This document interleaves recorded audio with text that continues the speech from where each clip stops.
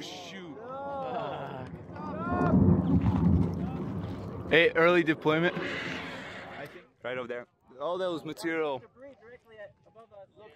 If one thing goes wrong, usually it's really, really bad, right? As opposed to something goes wrong in your car, it's, maybe it's not that big of a deal, but yeah. you know, little things that go wrong in, in airplanes and rockets, usually it's like a catastrophe. Okay, this was the aft end. It used to have fins. The fins were in here, and that parachute came out of straps this way, and this aft end was drug through a boulder field for about three quarters of a mile, and it just it just destroyed the airframe. Yeah. So, so bummer, right? We had a successful test flight, so we ratcheted it up, got farther than we did the last year, but but there's no rocket to fly. It's just it's wasted. We went down to the to NASA, to Huntsville, Alabama, where the uh, competition was held, and uh, so we felt, you know, we felt we didn't feel good about it because we're going down there. We've got a pile of junk, right? You know, we and we and we boxed the stuff up and shipped it down there. So we thought, oh, what a bunch of losers, right? You know, we're gonna, you know, but when we got down there, we realized that hey, wait a minute. Are we the only team that had failure? No, no, no, no, no, you know. So they had this like trade fair thing this one day, and everybody set up with their table, you know, so you can mingle around and see what everybody else's stuff is doing, and realize, oh, like Notre Dame was like, you know, about three tables down, there's Notre Dame, and they had like this cardboard box with a bunch of little bits and pieces of the shrapnel. That's all that was left from their rocket.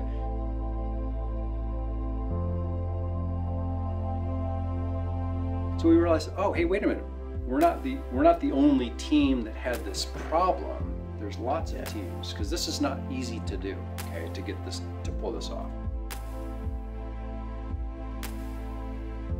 So a combination of the fact that we'd had these experiences that built up, uh, coupled with that we had a core team that returned from last year, then allowed us to then, um, you know, really, really go through the process, and we're highly successful. So we're super awesome because again, there were only two community colleges. This is an international international competition, and there's a total of two community colleges: Clark College and North Seattle.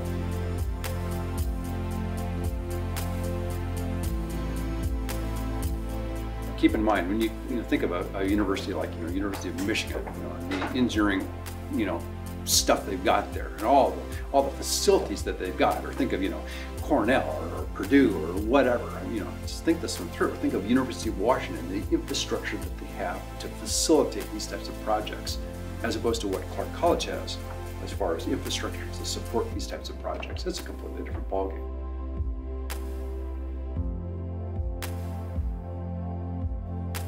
We have demonstrated by what's happened here, okay, by the fact that we have managed to get to these competitions and we have managed to like do well and we have managed to we're a community college. We're doing we're, we're right neck and neck with these four-year schools okay? Yeah. at some level we kind of blown people's minds of of the scale of what we're actually doing here Clark College, if you if you if you put everybody into one big huge ranking and look at the score, Clark College got the top score of all schools from Washington and Oregon.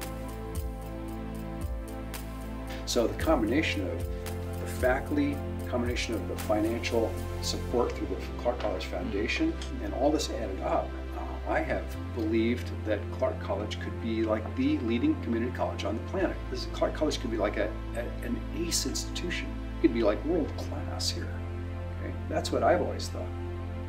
What I realized is, kind of at some level, hey, we did, didn't we? We made it. Yeah.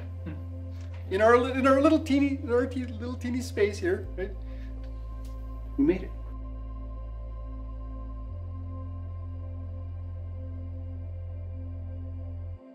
What a bunch of losers, right?